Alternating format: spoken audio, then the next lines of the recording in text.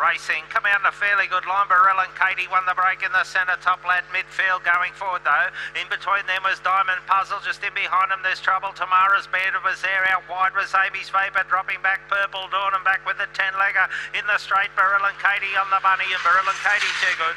Second will go to Diamond Puzzle, then Top Lad. On the inside there was Tamara's Bandit. Fairway back Sophie Wren, followed by Amy's Vapor. And the last two in 10 legger and Purple Dawn.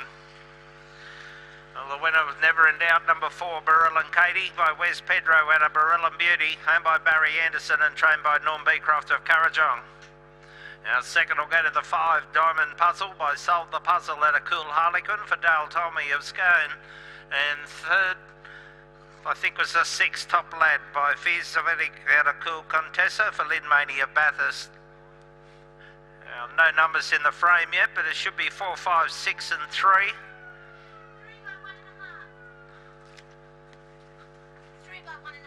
Three lengths by one and a half. The margin, three lengths by one and a half.